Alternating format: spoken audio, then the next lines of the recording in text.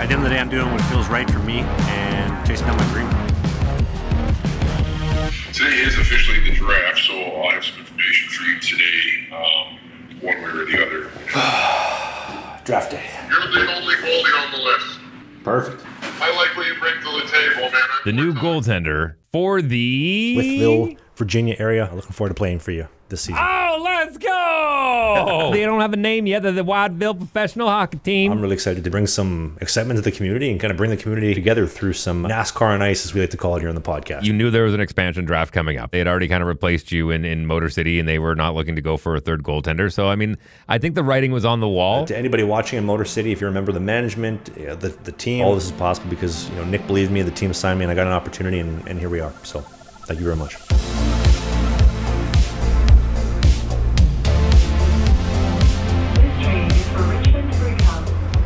So after the draft, obviously Virginia owns my rights now. I'm a member of the Wytheville Pro Hockey Team, although I'm not signed, so they still do have to sign me to a contract for this upcoming season. And I'm now the former starting right bench to the Motor City Rockers, but I do have all this purple equipment now. I'm not kind of set on what I want to use for the season gear-wise, so I was using the Warrior stuff two weeks ago. I'll probably go back to the Warrior stuff. Got some Hyperlite 2 stuff coming. There will be definitely be a uh, custom set in the very near future. So this is Braden Lowe. He spent five years in the ECHL and last season playing pro over in Denmark, along with Adam Haluka, who spent four years pro in the American Hockey League and is now playing Finland this season. Now they both run a skill skate together, and I'm essentially their living, breathing shooter tutor for this session. My focus here is getting back to 100% from hip surgery, and that is facing real releases, real shooters for the first time since surgery, and this is a big step. The reading of the releases, the angles, the micro adjustments when they're about to release the puck, all things that I haven't done since November when I had my last practice in Motor City before I left the team.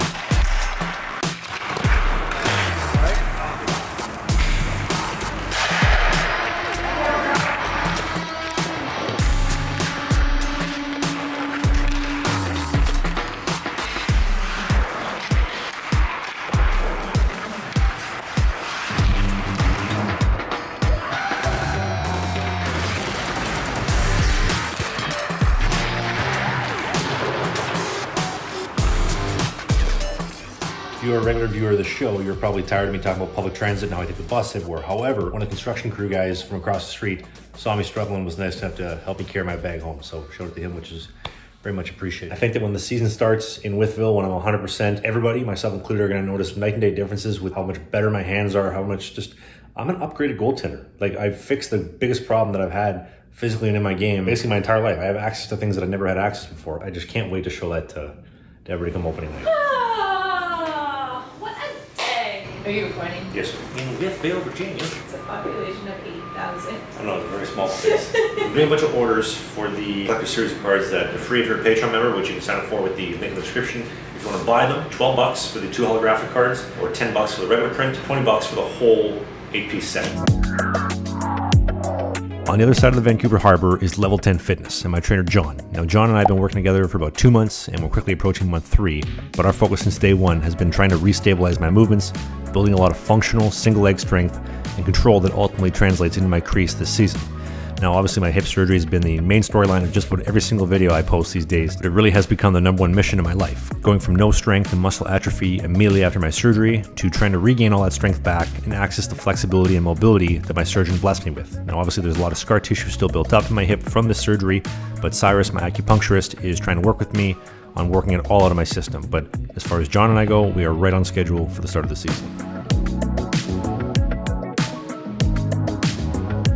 So I've always been kind of a little bit of a history nut. Like architecture, landscapes, history have always fascinated me. Vancouver's no different. It's surrounded by the mountains, in the valleys in between the mountains, with the oceans all facing to the west. And the architecture of Vancouver as well, being well over 100 something years old, back to Coal Harbour, one of the most beautiful areas in downtown, as you see here on the screen.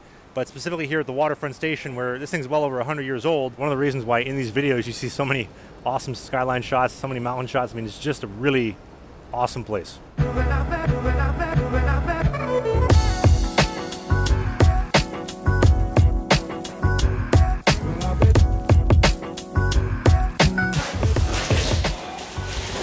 Oh,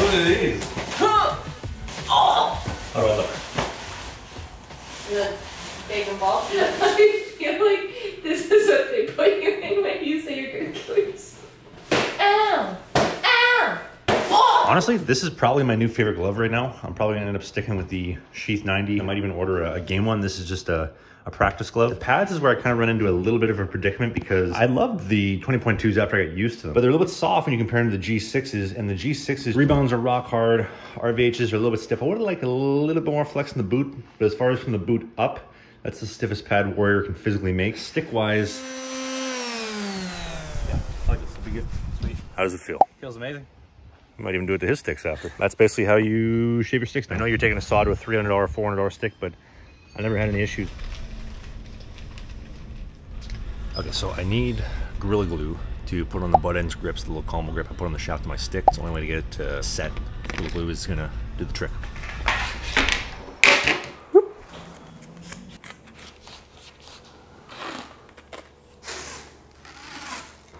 And now, a word from today's video sponsor, Sheath Underwear. All men suffer from having their ham bones stick to the side of the leg from time to time, but Sheath Underwear has fixed that with their dual pouch technology.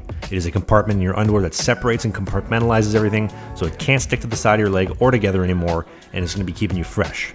That, in combination with their cooling bamboo mesh technology, is the best comfort and the best fit that you can find in a pair of underwear these days. I've worn exclusively sheath underwear for two plus years, and I wouldn't wear anything else. And you can too when you use the promo code TravSucks for 20% off at sheathunderwear.com. You just click on the first link in the video description to pick up a pair today. And I mean, sheath underwear is all over my gear for a reason. That's how you know it's the real deal. They're incredible. I can't recommend them enough. And I want to say thanks to Sheath Underwear for sponsoring this video. I'm now property of the Wytheville Pro Hockey Team in Virginia for the 2023-24 season.